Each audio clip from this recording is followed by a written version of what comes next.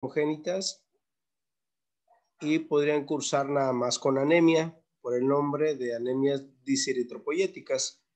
Nosotros podemos ver este paciente que, que tienen ahí, es un varón, tiene 10.5 gramos de hemoglobina, con un volumen de 89 y una concentración de 34. Es una anemia normocítica normocrómica, plaquetas normales, leucocitos normales, y entonces tenemos reticulocitos bajos.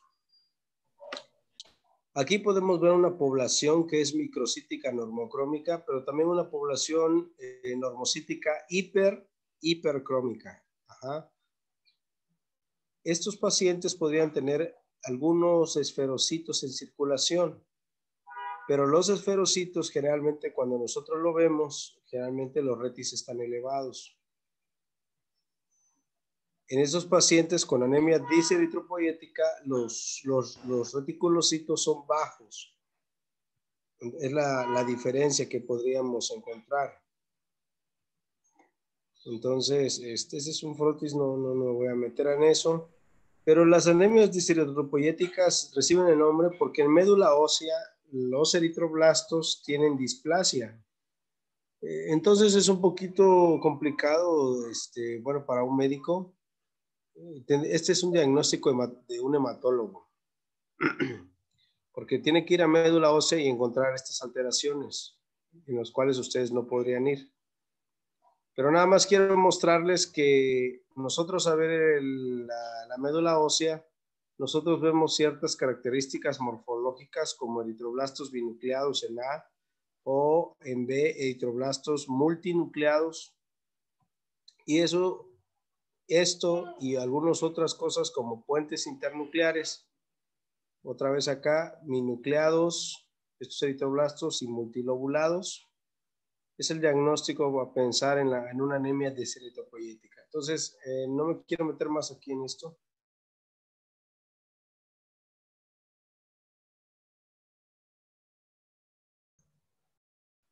Simplemente menciones morfológicas de los eritroblastos en médula ósea tienen una displasia.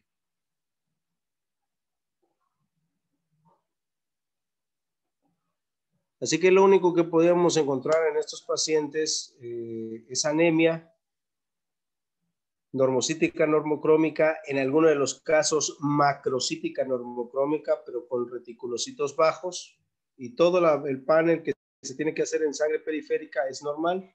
entonces la única manera de, saber que el paciente tiene una anemia de eritropoyética es ver morfológicamente la, la línea eritroblástica y ahí podíamos saber que el paciente está cursando con una anemia diseritropoyética y pueden ser de 3, 1, tipo 1, tipo 2 y tipo 3. Pero bueno, no quiero abundar más en el tema, simplemente algunos tienen anemia y, ya. Y entonces en médula ósea tendríamos que ver qué hay, ¿no? Entonces podría ser una plasia pura de seres roja que ya vimos, pero en el caso de plasia pura de seres rojas no hay eritroblastos. En este caso de las anemias diseritropoyéticas sí las hay. Simplemente que morfológicamente son anormales o displásicos. Con puertes internucleares o multinucleados o bilobulados, eso me da el diagnóstico de decir, pues podría tener una anemia diseritropoyética y por biología molecular mandar a pedir los genes que están involucrados en estos sería un diagnóstico genético, vaya. Bien. En lo que sí quiero abundar un poquito más es en el siguiente, en el siguiente tema, que es mieloptisis. Mieloptisis es un término que nosotros empleamos para determinar que la médula ósea está ocupada por algo. Entonces, eso que puede ocupar a la médula ósea, eso que puede ocupar la médula ósea son este, algunos procesos infecciosos como lepra, Mycobacterium leprae, o aquí, en, aquí a su lado en B es, es una infección por leishmaniasis o histoplasma capsulatum. Pacientes que tienen inmunodeficientes o son inmunodeficientes realmente podrían desarrollar un proceso de mieloptisis. El término de mieloptisis se le da a que algo está ocupando la médula ósea. Eso algo podría ser un proceso infeccioso, como acabo de mencionar. Podría ser eh, eh, mielofibrosis. La mielofibrosis es un término, es una, es una entidad en hematología que la médula ósea se fibrosa, está fibrosada por eh, fibras reticulares y entonces está cicatrizada en otras palabras y no hay cabida para las células hematopoyéticas por lo que cuando la médula ósea está ocupada por algo, en sangre periférica se manifiesta con pancitopenia, porque no hay cabida para los megacariocitos, no hay cabida para los leucocitos y no hay cabida para la línea eritroide. Entonces, eh, mielofibrosis, que esté fibrosada la médula ósea, que haya un proceso infeccioso por algún por algún microorganismo que acabo de mencionar, Leishmania, Mycobacterium o histoplasma, o pacientes que pueden tener algunas este, neoplasias, neoplasias que infiltran la médula ósea. Y estoy hablando de leucemias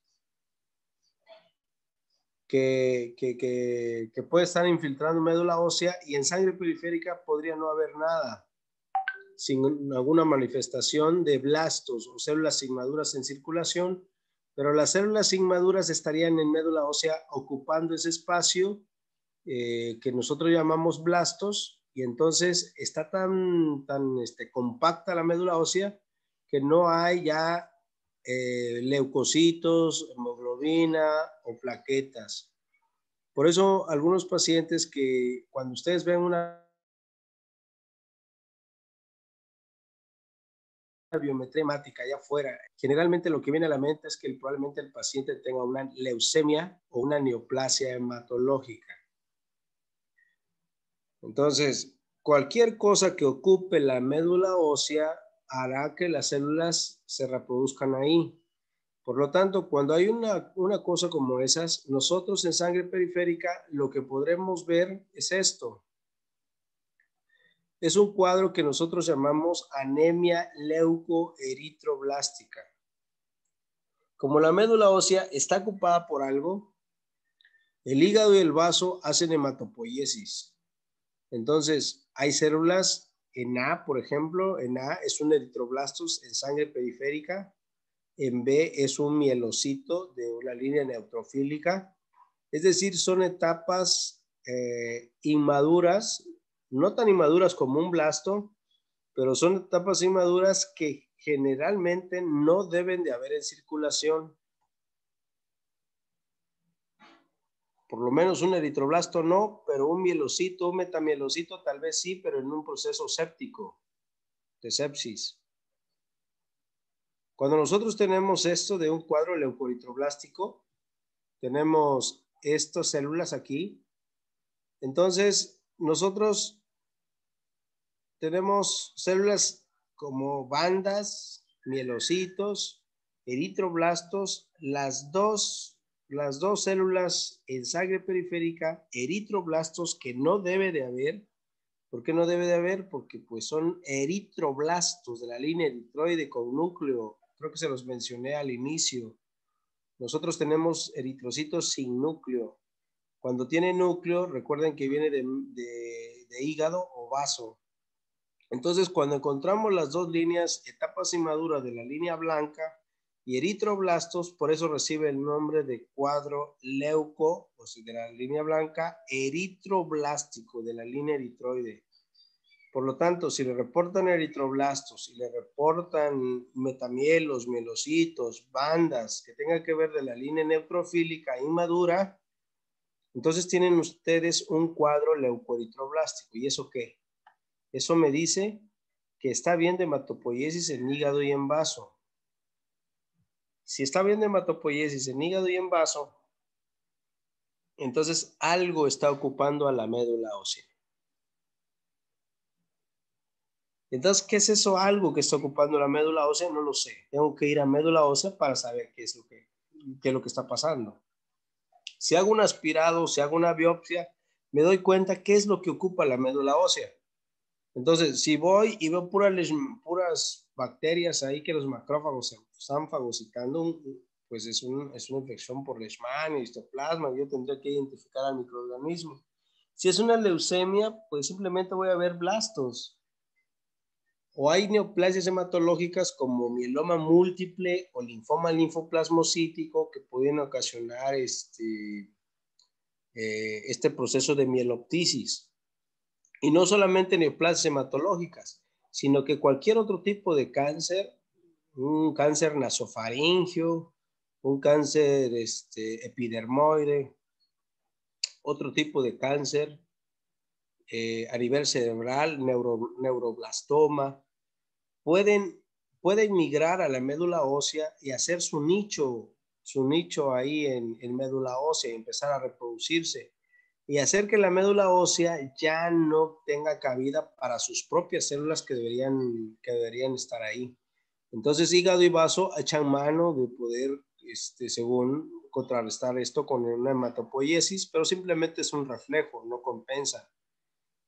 Por lo que los pacientes que tienen esto, concluyendo de mieloptisis, es que tienen un cuadro leucoeritroblástico generalmente y tienen visitopenias o pancitopenia y con los, cuadros, con los perfiles que, que, nosotros realizamos antes de ir a médula ósea, todo sale normal y entonces vamos a médula ósea y nos damos cuenta cuál es el cuadro de mieloptisis que tiene el paciente.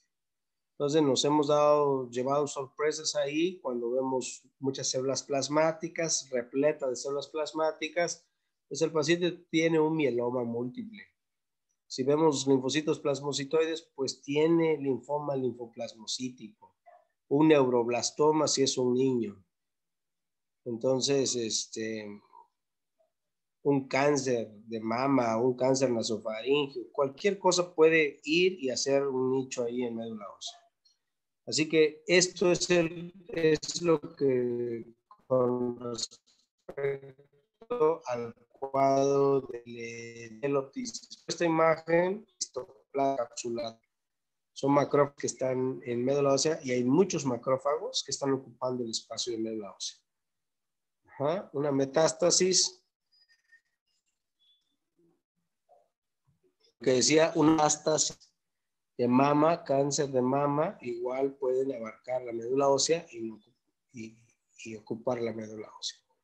Entonces, esta es mielofibrosis, es una, es una tensión pentomática de Entonces ahí se ve cicatrizada toda la médula ósea, muchas redes de fibra y no hay cabida para la médula ósea.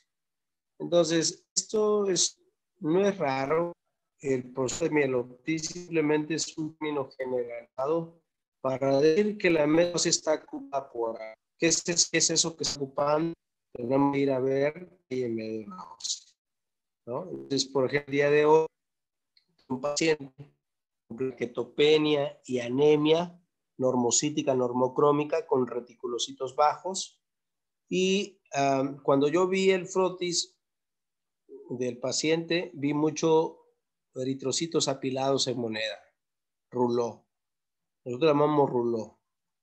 Entonces, con proteínas elevadas, en relación a las globulinas estaban más elevadas y células en sangre periférica que correspondían a linfocitos plasmocitoides.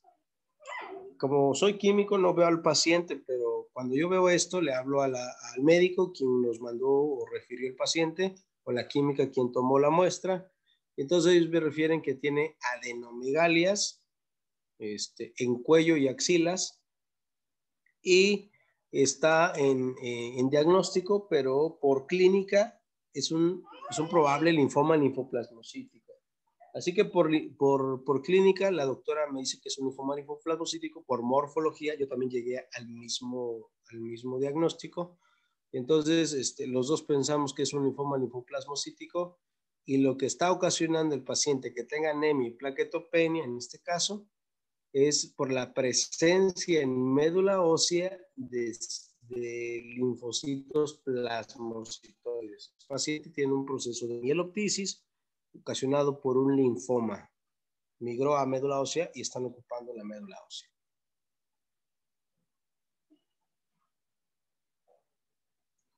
Y eso es el proceso de mieloptisis. No sé si tengan alguna duda. Químico, una duda. En cuanto al ¿qué En cuanto al fenómeno de Rouleau, eh, ¿cuál, o sea, la, la, explicación, tengo entendido que es por, se ven milomas múltiples, pero ¿por qué sucede este, este apilamiento de células? Ajá, por el aumento de proteínas en plasma. Los eritrocitos se apilan por el aumento de proteínas en plasma. Como en el mieloma múltiple, a ver, déjeme ver. Les voy a mostrar unas imágenes.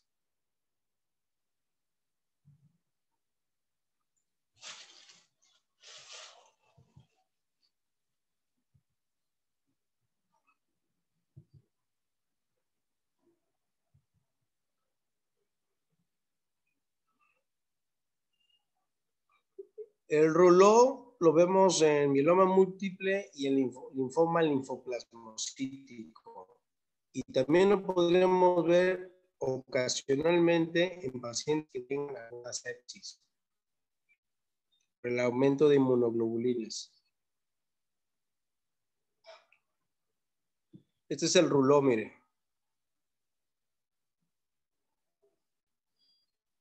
El ruló, eritrocitos lados. Eso es por el aumento de proteínas plasmáticas.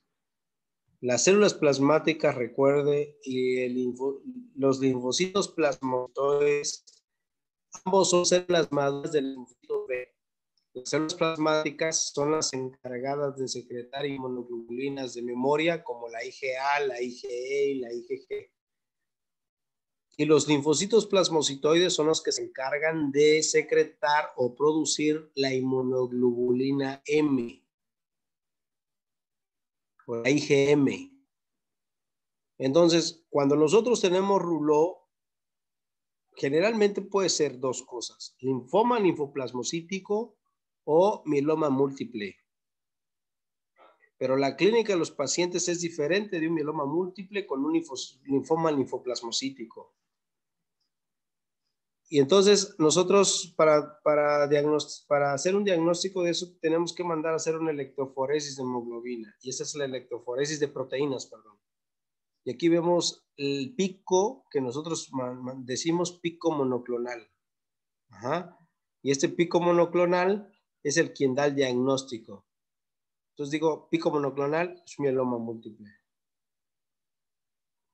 Y lo que vemos en esos pacientes es que está repleto de estas células que se llaman células plasmáticas. Miren, médula ósea está repleto de puras células plasmáticas.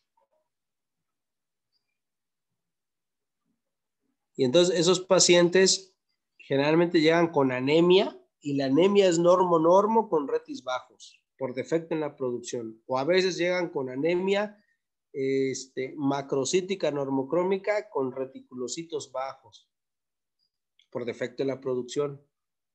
Entonces, sería bueno para ustedes agregar en el perfil de, que ya dije, perfil renal, perfil tiroideo, vitamina ácido, vitamina B12 y ácido fólico, agregar tal vez eh, un perfil de proteínas y si sería mucho pedir un perfil de una electroforesis de proteínas como de cajón porque créame que esto no es raro. Últimamente, en, bueno, en estos días yo he tenido dos mielomas y hoy un linfoma linfoplasmocítico. Entonces son pacientes que tienen esto, pero como no todos los laboratorios hacen fotos y no tienen toda la, expertise, no reportan ruló. Y si no reportan ruló, el paciente sigue sin diagnóstico y llega con el nefrólogo porque desarrollan insuficiencia renal por el exceso de proteínas de Benson Jones o el exceso de cadenas, kappa o lambda. O los pacientes que tienen linfoma linfoplasmocítico, la gran cantidad de inmunoglobulinas, recuerden que la IgM es más pesada que la IgG, la IgE o la IgA, porque la IgM es pentamérica es mucho más espesa la sangre o el plasma, mejor dicho, que un mieloma múltiple. Y los pacientes que tienen linfoma linfoplasmocítico por IgM realmente tienen este, oclusiones en los vasos oculares, entonces este, tienen pérdida de la vista o tienen este, una, tienen este, estupor y, y este, pérdida de la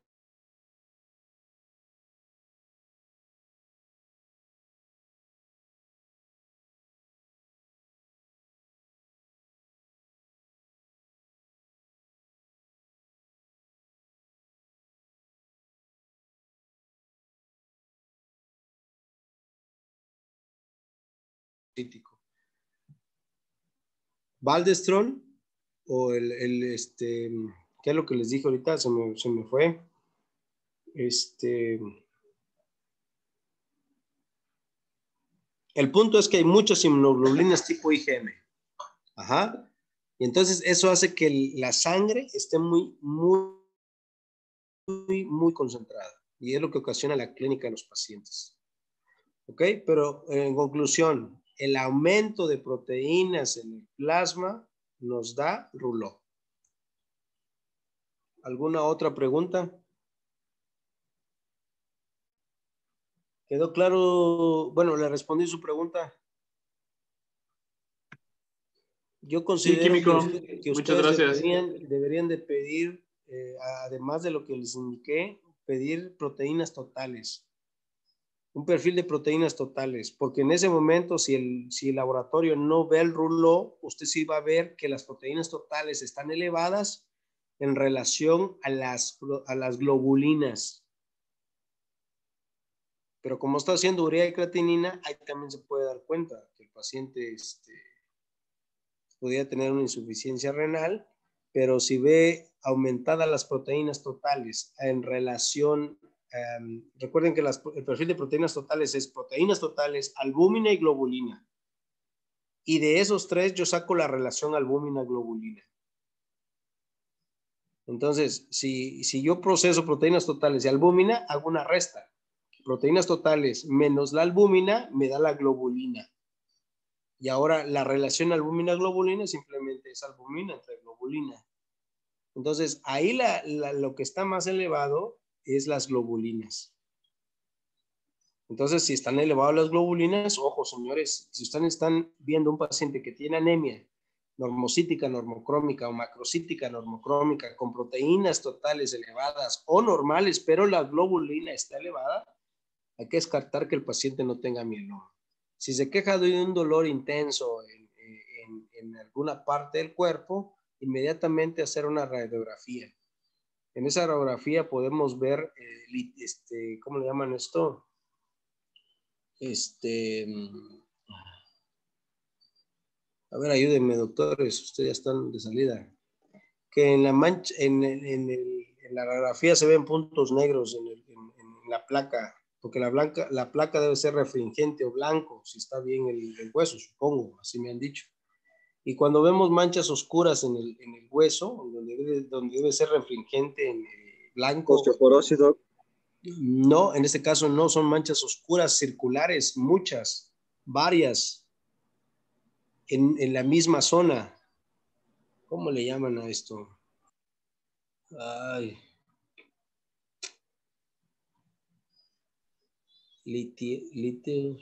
litiasis. ¿Calcificaciones, Doc?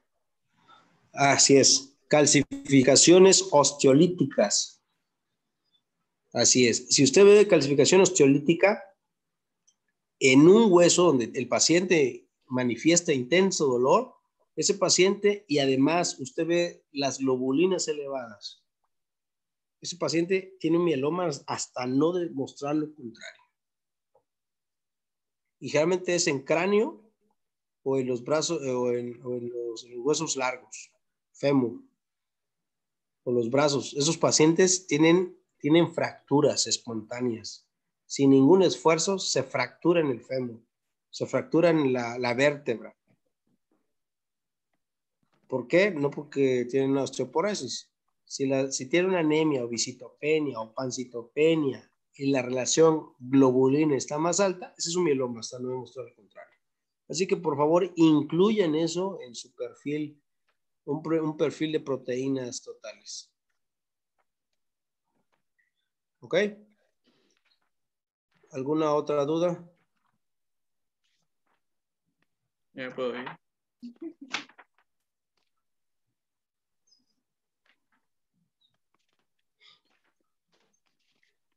Bien. Hay pacientes que me ha tocado que tienen pancitopenia.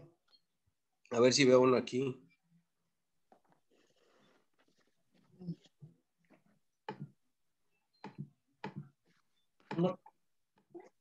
Te puedo mandar un link y me dices si se puede descargar o no.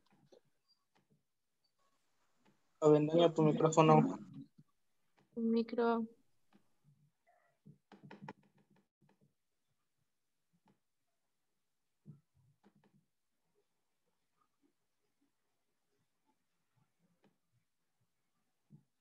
Por ejemplo, este paciente, miren. Bueno, esto está fácil. Por ejemplo, este. Tiene una anemia de 5.9, hemoglobina de 5.9. Y es microcítica normocrómica. Microcítica normocrómica. Pero ojo, plaquetas bajas. Y leucocitos de 18 mil no tan altos, pero podría ser un proceso infeccioso. Pero cuando vean una diferencial a expensas más de linfo, linfocitos que neutrófilos, entonces eso es una biometría anemia.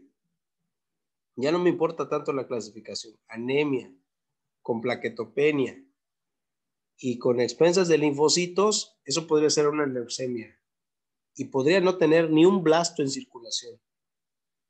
Si usted dice, ah, ok, lo voy a, lo voy a abordar como, como una anemia que como que ya les enseñé el caminito. Supóngase, es una anemia microcítica normocrómica, pero con reticulocitos bajos.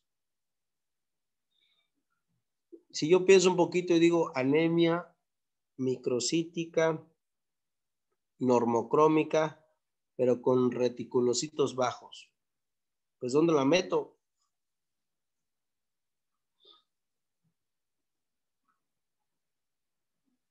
¿Dónde la meterían ustedes? Si lo queremos abordar con la anemia, no estamos pensando en una leucemia, pero supongamos que lo abordemos como una anemia, anemia microcítica normocrómica con retis bajos.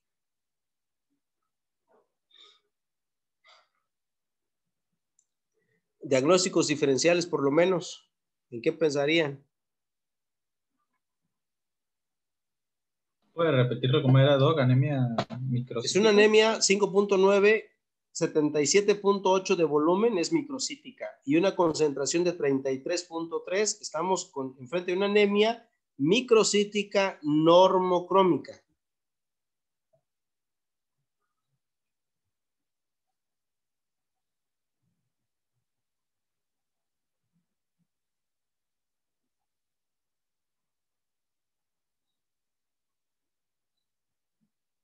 Pero con reticulocitos bajos.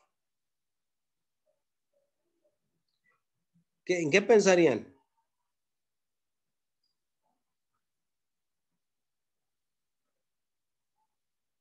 ¿Están ahí? Sí, químico. sí, químico. Estamos pensando, analizando. Si digo que es microcítica, pon, póngale ustedes, usted diga, es microcítica. ¿Por qué es pequeño? Ah, pues porque le falta hierro. Póngale que usted piense de esa manera.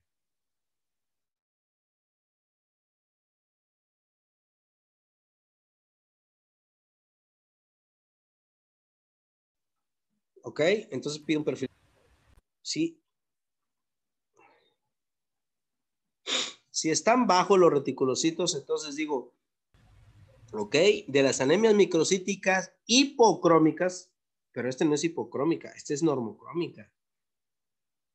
¿Y qué anemias vimos? Anemias microcíticas normocrómicas, una talasemia. Pero le hago el perfil de hierro y el perfil de hierro normal o alto. Y entonces, este,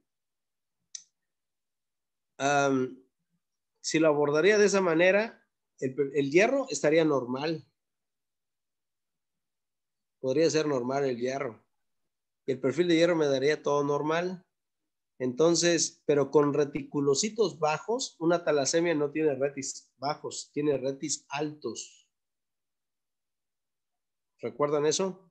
Entonces, de las anemias microcíticas hipocrómicas que tienen retis bajos es la anemia sideroblástica. Pero la anemia sideroblástica tiene que tener hierro sérico alto y ferritina elevada. Este paciente tiene hierro sérico normal y ferritina normal. Entonces ya no entra ahí. Y tampoco puede ser una anemia hemolítica, porque la anemia hemolítica tiene que tener reticulocitos ¿qué? elevados. Así que en las anemias con reticulocitos bajos, digo, pues es por defecto en la producción. Oiga, químico, pero usted nunca mencionó microcítica normocrómica. Pues no lo mencioné, pero mencioné que eran normo-normo, sí, la insuficiencia renal crónica, o macrocítica normocrómica. Pero agréguenle una más aquí por defecto en la producción, que puede ser microcítica normocrómica. Agréguenle una más ahí a, a este grupo, que podría ser microcítica normocrómica con reticulocitos bajos. Entonces, teniendo esto, anemia macrocítica normocrómica, anemia normocítica normocrómica, anemia microcítica normocrómica con retis bajos es por defecto en la producción. ¿Qué hago?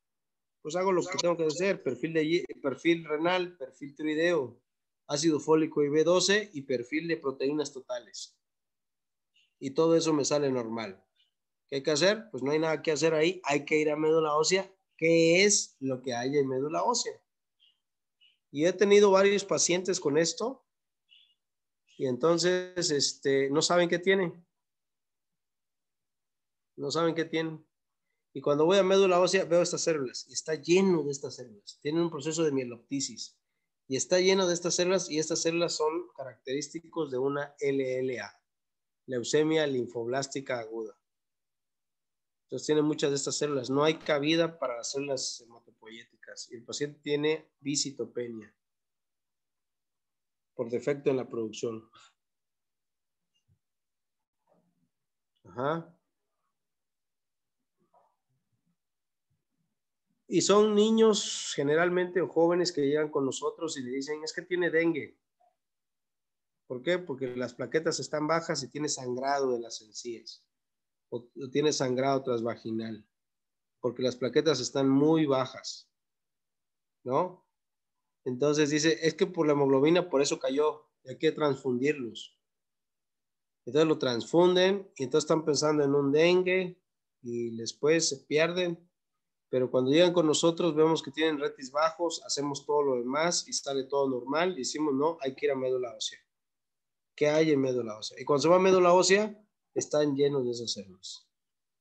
A veces hay en sangre. Cuando hay en sangre, pues nosotros diagnosticamos la leucemia, pero a veces no lo hay. Yo he tenido dos casos que no hay ni una célula inmadura en sangre y solo manifiesta visitopenia y la única manera de saber qué es lo que tiene el paciente es ir a médula ósea. Y desgraciadamente cuando vamos a médula ósea, la historia termina en que es una leucemia que está haciendo mieloptisis en médula ósea. ¿Ok? Bueno. Entonces, señores, eso es mieloptisis. Y aquí terminamos las anemias por, de, por, por, defecto en la producción, hablando de macrocíticas normocrómicas.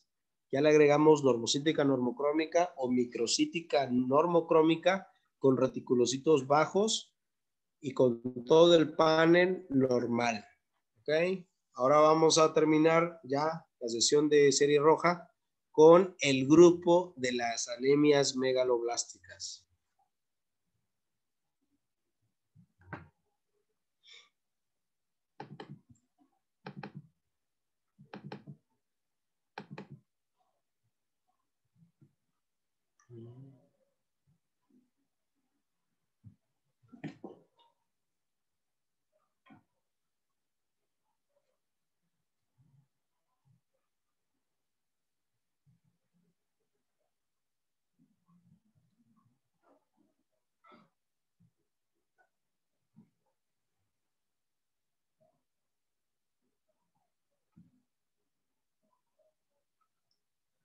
Bien. La, la- la la anemia megaloblástica es la verdadera macrocítica normocrómica, con reticulocitos bajos siempre. Siempre con reticulocitos bajos. Pero con una cuantificación de ácido fólico o B12 bajos. Puede ser uno o puede ser ambas. Entonces aquí ya había explicado esto, esto creo, la vez pasada. ¿Por qué son macrocíticas normocrómicas? Porque hay un defecto en la síntesis del DNA. Ajá. Entonces, ¿por qué hay un defecto en la síntesis del, del DNA en la anemia megaloblástica? Porque el ácido fólico y B12 me sirven para producir timina. ¿Recuerdan? del ciclo celular es la que se prolonga en tiempo porque no hay suficiente timina, porque no hay suficiente ácido fólico o porque no hay suficiente vitamina B12.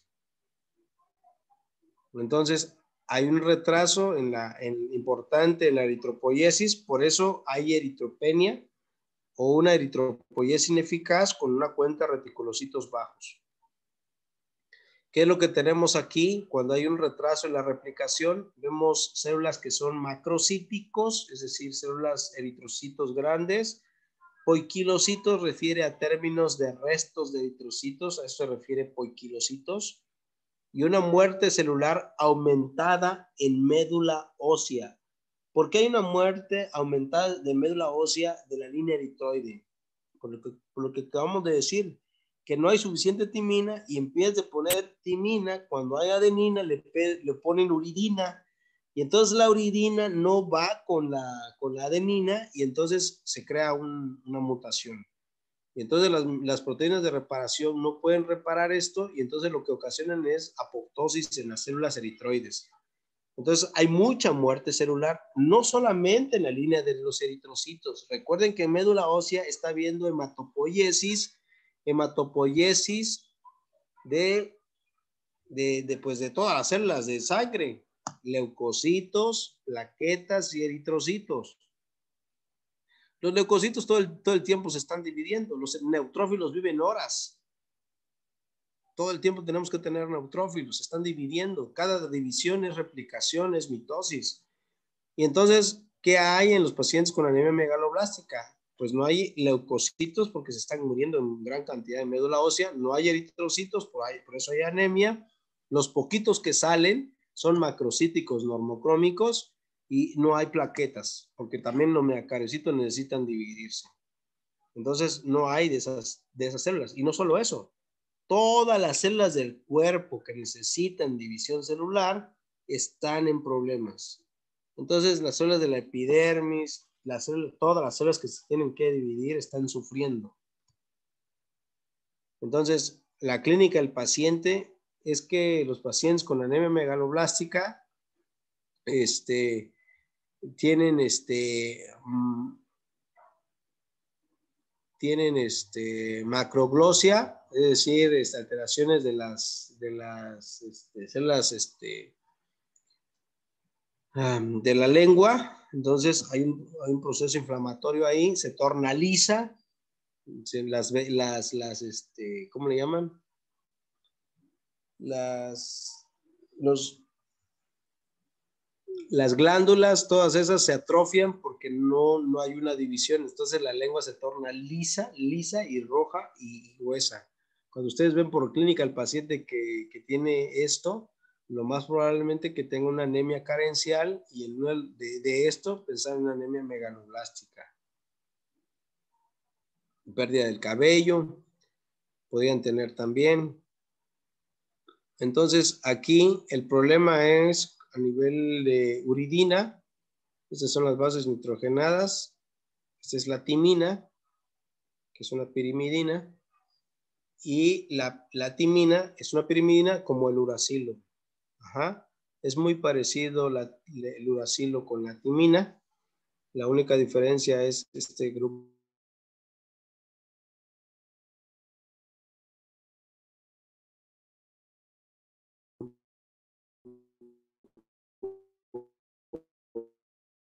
metilo. Algo mencionar que la vitamina B12, que la vitamina B12 es la cobalamina, ¿sí? Entonces, eh, existen diferentes cobalaminas dependiendo su grupo halogénico que tenemos aquí.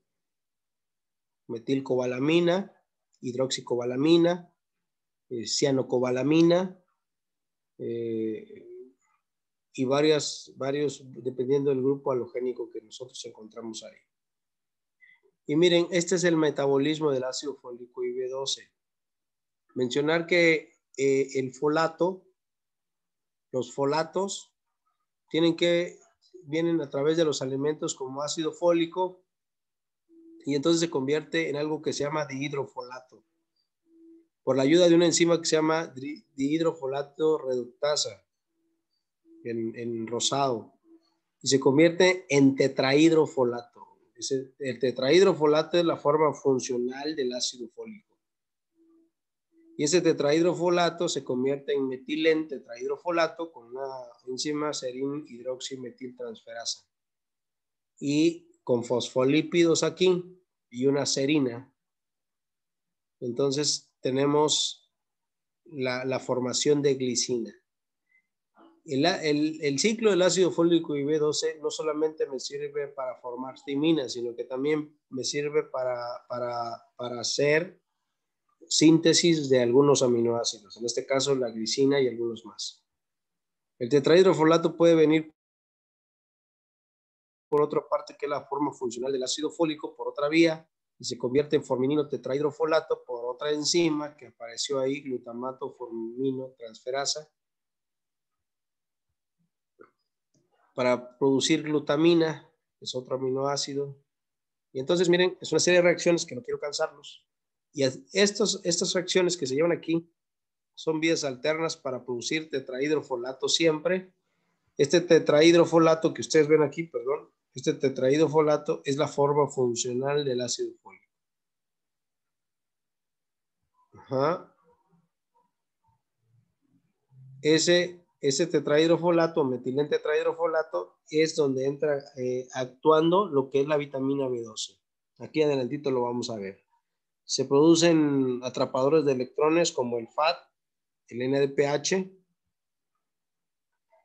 y entonces aquí el metil tetrahidrofolato regresa a tetrahidrofolato, pero aquí con la ayuda de una metionina sintetasa y aquí es donde está la, la vitamina B12. Miren qué hace la vitamina B12, que es la metilcobalamina. Es lo mismo que vitamina B12. Vean, veamos este paso nuevamente. Este paso es donde actúa la vitamina B12. La vitamina B12 lo que hace es esto, miren. Hace la metilcobalamina hace el metil tetrahidrofolato por la metionina sintetasa, le quita el metil y queda como tetrahidrofolato. Este tetrahidrofolato es funcional otra vez para seguir la vía y seguir en forma de feedback, la retroalimentación. Pero esta metilcobalamina o la vitamina B12 también ayuda a que en el cuerpo no se almacene homocisteína porque si hay mucha homocisteína en el cuerpo es tóxica para el cuerpo. Por eso los pacientes que tienen homocisteinuria tienen, desarrollan trombosis venosa. Y aquí el desahogo es convertir esta homocisteína del cuerpo, se convierta en metionina con la ayuda de la, de la vitamina B12 también. Esa metionina tiene cosas muy importantes como hacer proteínas, como neurotransmisores, o algunas otras cosas que tengan que ver con el sistema nervioso central. Esta es otra vía, es otro metabolismo de la, de la homocisteína. Entonces, la homocisteína tiene que desaparecer del cuerpo, regresa a adenosín homocisteína o siga otra vida como betaínas que se convierten en metioninas. Ajá. O la homocisteína se va a cistationina para formar una cosa muy importante en los eritrocitos que nosotros llamamos GSH, que es el glutatión. El glutatión es el que protege a los eritrocitos de los oxidantes, que también viene de esa vía. Pero miren, todo esto me sirve para este último, miren. A ver, no sé si siguen ahí. En la parte izquierda, miren la flecha, que estoy desapareciendo y apareciendo. Este es el paso importante de todo el metabolismo del ácido fólico B12 aquí. Que el metilén tetrahidrofolato, perdón, ¿dónde está la flecha? Aquí está. El metilén tetrahidrofolato se convierte en dihidrofolato, pero aquí entra la sintetasa timidilato. Aquí a, partir de, de, de uridina, de oxiuridina, monofosfato, yo convierto en deoxitimidina monofosfato. Aquí está la timina. Esa es la timina. Yo a partir del ácido fólico y B12 les dije que yo obtengo ¿qué? Timina. Si no hay ácido fólico o tetrahidrofolato o metilcobalamina, yo no puedo obtener la timina a partir de la uridina. Si no hay esto, no hay timina. Si no hay timina, no hay DNA.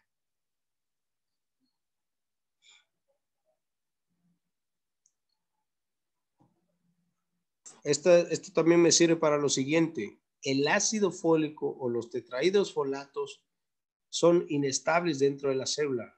Realmente deben estar en forma estabilizada en, monoglutamatos, que nosotros llamamos, en forma, monoglut, este, en forma de mono, este, poliglutama, poliglutamatada. Perdón.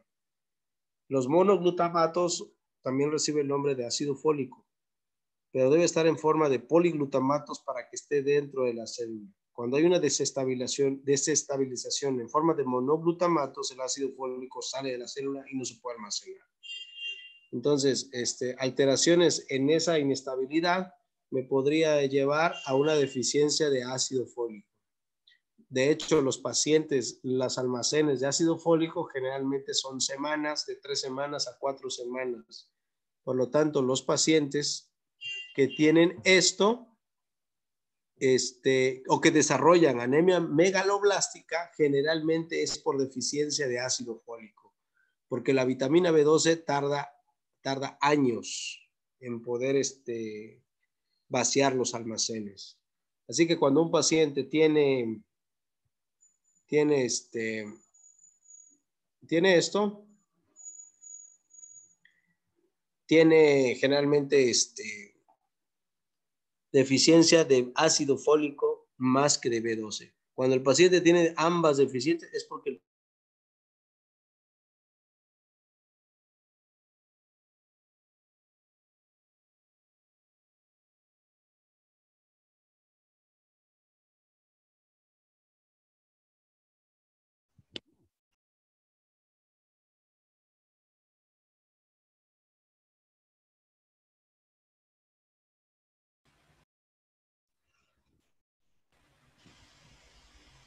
Químico, no se escucha. No me escucha químico. Químico.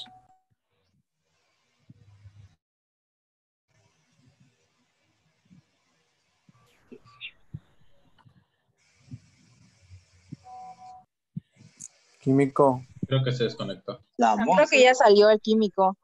Live. Live. Live, live, live. Yo no lo tengo, güey.